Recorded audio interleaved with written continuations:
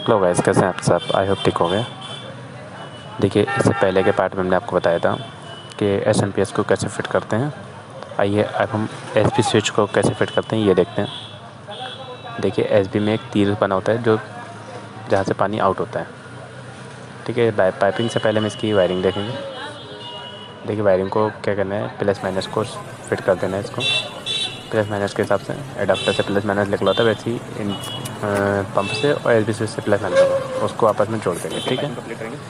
इसकी पाइपिंग का क्या करेंगे हम? एच स्विच में पहले एक पाइप लगा लेंगे एच स्विच के इन में। ठीक है?